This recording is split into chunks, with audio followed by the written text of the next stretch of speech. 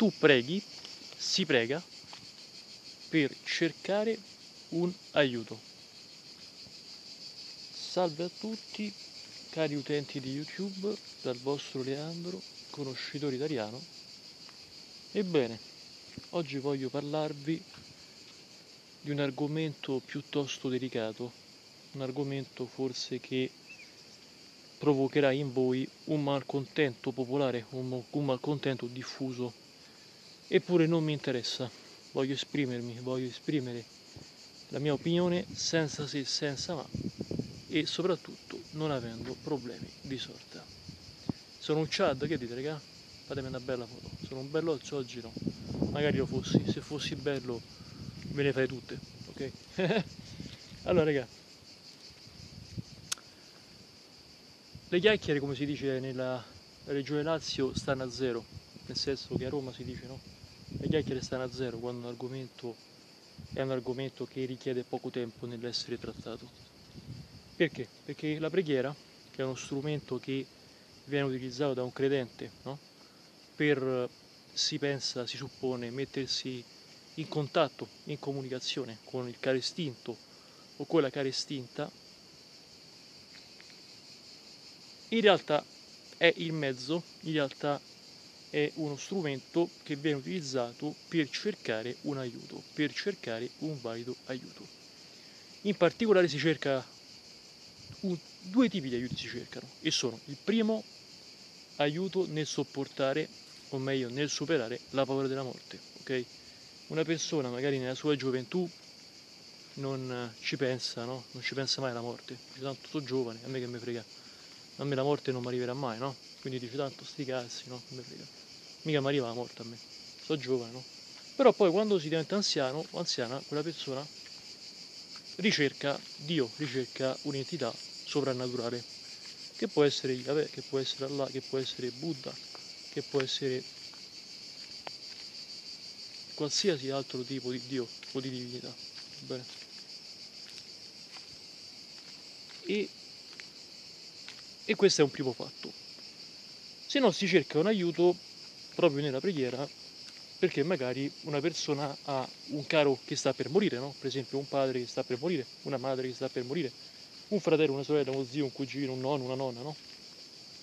Io stesso quando ho saputo che mio nonno stava per morire e che probabilmente non ce l'avrebbe fatta come effettivamente è stato, ho riposto le mie speranze in Dio. Cioè io ho detto, ti prego Dio, ti prego, non me lo togliere dal mondo. Fai sì che mio nonno non se ne vada via, ok? Tienilo su questo mondo, tienimelo per cortesia, ti prego. E quindi ho recitato ogni sera una preghiera, sperando che Dio poi, ammesso e concesso in qual mio speravo che esisteva un Dio, mi andava ad aiutare, va bene? Ma io sono stato opportunista, perché? Perché ho cercato Dio proprio nel momento in cui avevo bisogno di Lui. Cioè io ho detto, ti prego Dio, aiutami, ti prego, non togliere dal mondo il mio, il mio amato nonno paterno, ti prego, non me lo togliere da questa vita, non me lo togliere da questo pianeta, e quindi ho cercato, ripeto, la presenza divina, la presenza soprannaturale. Bene. Io sono stato un po' paraculo, perché paraculo? Perché non ho mai pregato tanto, o comunque io ogni sera sì è vero che prima di dormire recito un eterno riposo, però da quando è morto mio nonno, perché prima io non ho mai pregato, cioè raramente prego, va bene? Quindi diciamo che sono uno di quelli paraculi, se vogliamo, no? Che comunque in maniera paraculata va a chiedere a Dio un aiuto. Ok? E ha chiesto aiuto per mio nonno. Però poi, tra virgolette, non ho avuto l'aiuto che per l'appunto volevo ricevere. Quindi praticamente Dio, nel mio caso forse, ammesso e concesso che esista un Dio, non mi ha ascoltato. Ecco, l'effetto brutto che la religione ha, pone, è che se una persona magari riceve un lutto grave e magari ripone speranza, ripone fiducia in Dio, perde la speranza e perde la fede. Cioè, una, dicevo io credo tanto in Dio, ti prego Dio, aiutami, dammi, ti prego, non me la uccidere, non uccidere mia madre, non uccidere mio padre, non uccidere mio zio, mio nonno. Preghi tanto, poi però purtroppo muore, riponi speranza in lui, in Dio, e tra virgolette non riesce a tenerti in vita il parente, il caro istinto, il caro, eh? o la cara. E quindi una persona può perdere la fede. Dice non credo più in Dio. Bene. Molto spesso accade questo. C'è anche un altro caso in cui un uomo una donna magari crede molto in Dio, ma prega e il caro, il caro poi muore, con la cara muore, però poi non è che perde la fede, ma rimane molto fedele a Dio, oppure addirittura la sua fede diventa ancora più forte, ancora più incisiva. Va bene? Questo è un altro, questo è un altro caso, questa è un'altra ipotesi.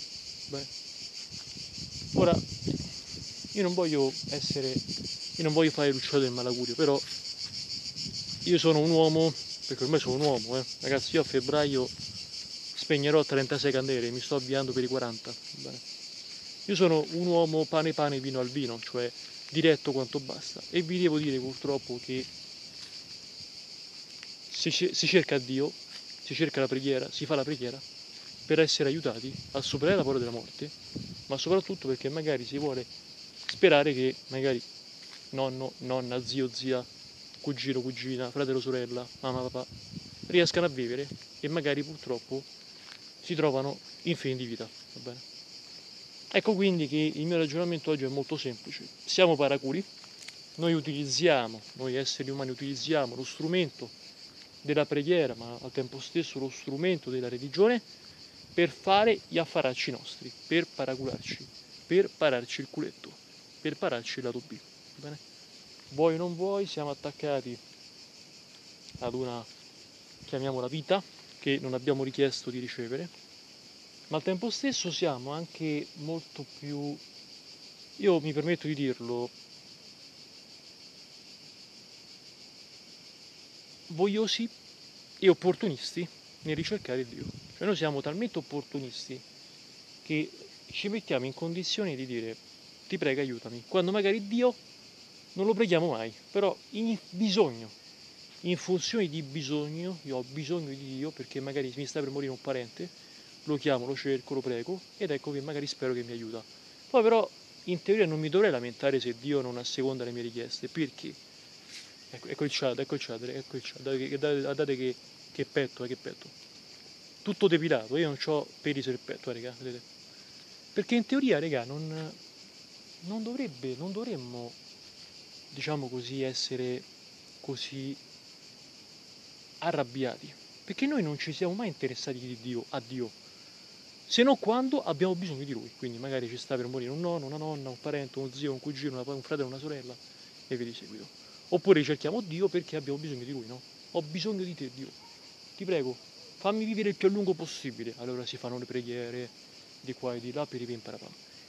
Si chiama opportunismo religioso.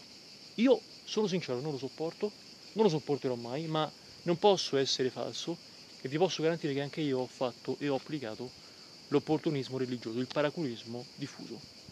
Dicevo, una volta mi ricordo alle elementari, no? C'era, io andavo alle elementari, avevo tanti compagni e compagnucce, no? E c'era la mia maestra, la maestra Tina, che ancora è viva, bene, è anzianissima ovviamente, ok raga? La maestra Tina che insegnava ehm, matematica, ma anche geografia, che la mia, la mia maestra, la maestra Tina insegnava geografia e matematica elementari. Bene. Allora sapete che è successo? No? Che un, giorno una, una, mia compagna di classe non venne eh, manco da scuola, in pratica non venne, no? non si presentò. Allora sapete che disse la maestratina? La, io la, la adoravo, era una maestra divertentissima, è ancora viva per fortuna, però è anzianissima, che ha un sacco di anni, c'era forse 90 anni. Okay? Era già anziana quando ero piccolo io, figuriamoci, no? Allora sapete che è successo? Che questa, questa bambina non venne a scuola. Allora, sapete che disse la maestratina? disse il nome, no? non è venuta perché ha la paraculita acuta, caro Leandro. Ha la paraculita acuta. Eh? La paraculita acuta praticamente sarebbe il paraculo, no? È una, una, una paracula, no? Come si dice Roma, è una paracula. Okay. Allora io oggi, ricordando questo, vi dico, siamo paraculi, siamo tutti paraculi e siamo noi stessi affetti da piena paraculite acuta. Va bene? Quindi quando eh, vi dicono, no, ma eh, oh, sei un paraculo, ditegli sì, ho la paraculite acuta. Ecco, questo è un modo per farvi divertire. Perché io vi sto raccontando pane pane, viene al vino quello che è la realtà dei fatti e soprattutto quello che è l'attuale, il presente, il contemporaneo. sperando di avervi fatto cosa gradita, vi ringrazio, vi chiedo di iscrivervi al canale, di mettere questo video a tutti i credenti, fatelo vedere ad un prete, tanto non avete preti perché siete giovani, magari fatelo però arrivare a un predato, a un prete, a una persona che sta magari su Facebook, dico, dice io ho il prete su Facebook, no? Mo quasi quasi gli chiamano sto video, chiamano. Incollateglielo, raga, dateglielo. Dice prete, Don, don Pasquale, Don Vito, Don, don Mauro, Don, don, don, don, don Sergio, Don Leandro, Don Aleandro, le posso mandare un video? Certo, certo. Gli mando un video di questo coglione che si chiama Leandro, che si fa chiamare il, il conoscitore italiano, che poi non è un conoscitore, è un coglione italiano, va bene? Ah, piccolo aneddoto, poche sere fa, no? Entro su Migol, a un certo punto entro, sapete che succede, no? Dico, appena entro, questo qui tutto nero con, la, con lo schermo mi scrive il coglione italiano, sei ridicolo, il tuo canale fa schifo, il tuo canale è da vomito. Allora io ho risposto, beh, sarà pure da vomito, però perlomeno io le cose le dico e non è un canale di rutti e di scoregge, e di scoregge, va bene? Quindi sarà pure da vomito, ma intanto non scoreggio non rotto, non rotto? Quindi pensala come vuoi, no? Alla fine poi l'ho skippato io? Quindi significa che qualcuno mi riconosce suo amico, ormai mi, mi riconosco quasi tutti, e non sopporta il mio canale. Ci sta, perché non è che io non pretendo che il canale mio venga visto da tutti, da chiunque, dica, ah, tu, mi piace quello che dici, Lea. No, no, regà, no, no, no, va bene così, mi sta bene che non piace il canale, però perlomeno io perlomeno non scoreggio, non rutto. Sì, qualche volta quando faccio recensione qualche birra magari mi vedo a sputare, ma è una cosa simpatica, divertente, goliardica. Ma non è un canale trash questo, raga, va bene? Perché io vi offro la riflessione con la comicità, la comicità con la riflessione. E chi è che vi fa tutto questo? Chi è che vi fa le birre, vi fa capire la vita, il mondo, la religione, la morte, la vita e tutto il resto? Eh? Bella per voi, raga. Un saluto caro da Leandro, conosciuto italiano, un bel selfie ci starebbe bene, raga. Vai. Con un bel V. Bella per voi.